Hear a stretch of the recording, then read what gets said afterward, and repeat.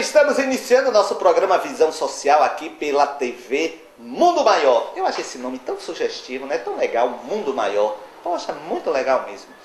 E você é o grande fazedor do nosso programa. Nós, em verdade, aqui apenas organizamos, metodizamos a sua participação. E você pode, deve participar. O nosso, no, os nossos canais são e-mail visão social arroba tvmundomaior.com.br Se fosse no Nordeste a gente dizia ponto .br, br, ok? Ou então pelo site da TV Mundo Maior, www.tvmundomaior.com.br, tem um Fale Conosco. Ou a central Telefax aqui de Salvador, 71 é o DDD, o telefone é o 3336 8037. Estamos aí iniciando este ano, né, nesse mês que passou. Eu estou provocando vocês, no melhor dos sentidos, querendo saber o que é que vocês acham do movimento espírita.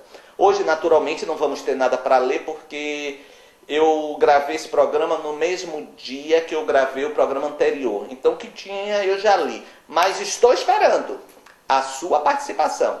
Eu estou então no estranho se você ouviu o programa, mandou e eu não estou lendo aqui agora, não é? Porque foi gravado no mesmo dia. Eu só mudei a camisa para vocês não, não perceberem. vocês não perceberem que é o mesmo, mas a calça é a mesma, certo? Não dá para ver, não é? Pois é. Então o cabelo está do mesmo tamanho. Olha, as flores são as mesmas. Vocês podem pensar assim, poxa, uma semana e não murcharam efeito físico?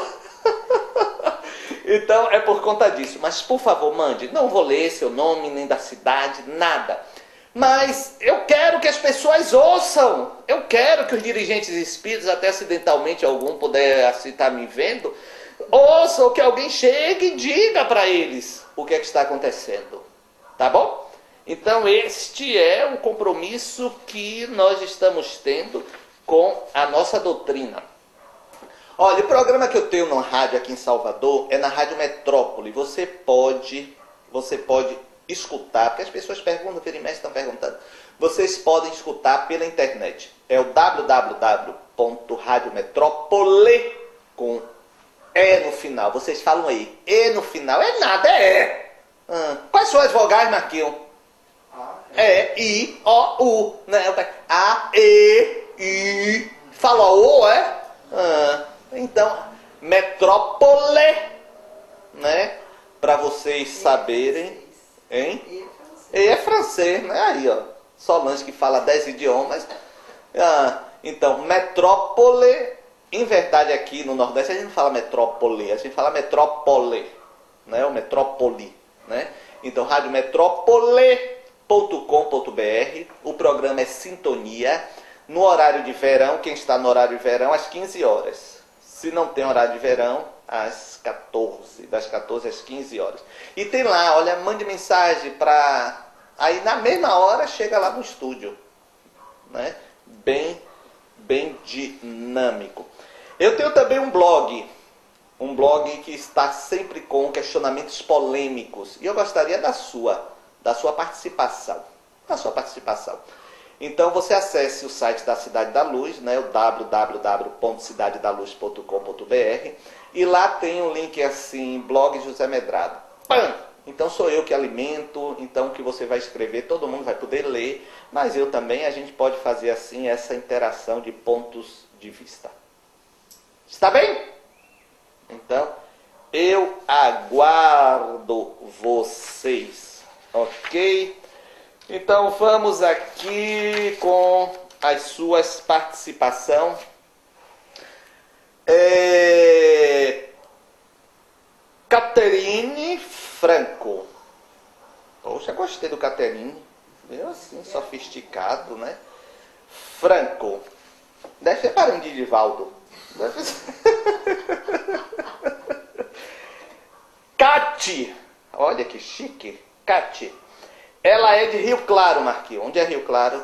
Ah, aí ele. Ah, é, é, interessante. Olha, a boçalidade. A boçalidade é algo intrépido. É. São Paulo. São Paulo, isso aí eu sei, é São Paulo. Tá certo, tá certo. Namorou com a menina de lá? Como é que você namorou com a menina de lá estando aqui? Ah, ela estava aqui? Então você namorou, você ficou. Ela passou quanto tempo? Três meses de férias. Três meses de férias você namorou a menina? Tem muito tempo ah, sim. Muitos anos. Muitos anos. Ah, tá vendo? Caro Medrado, muita paz. Eu gostaria de saber por que existe o bem e o mal. A gente tem que ser exposto à tentação para ver se aguenta. oh, Eu achei fantástico pra mim. Não, Kátia, olha, se você for recuperar um dos grandes teólogos da Igreja Católica, o pai da patrística, Santo Agostinho, ele dizia que também foi um dos né, codificadores espirituais da doutrina espírita. Ele disse que não existe o mal. O que existe é a ausência do bem. Olha que forma interessante de analisar. Então ele acha que o bem é permanente. Onde não existe o bem, se estabelece o mal como a referência do que não é o bem. Da mesma forma que nós conceituamos o escuro. O que é o escuro? A falta de luz. A falta de luz. Então o mal é a falta de bem, do bem.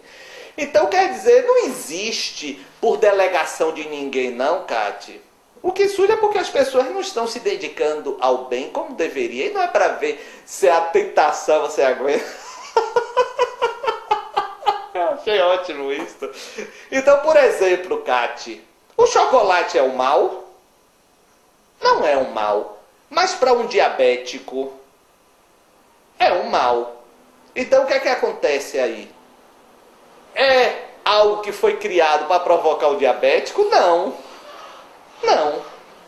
Eu até fiquei sabendo, Solon, recentemente, até ouvindo uma pessoa, de que é preferível o diabético comer até o chocolate normal do que o diet por conta de gordura.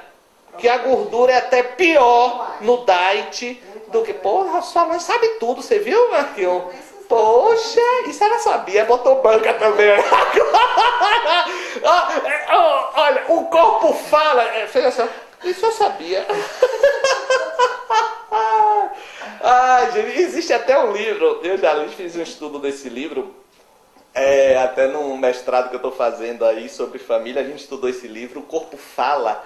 Então, você fazer assim, equacionar o que você ouve pelo que você vê da manifestação corporal. É tão interessante, é muito interessante isso. Mas eu vou ao intervalo, eu volto já já, tá, gente? Tchau.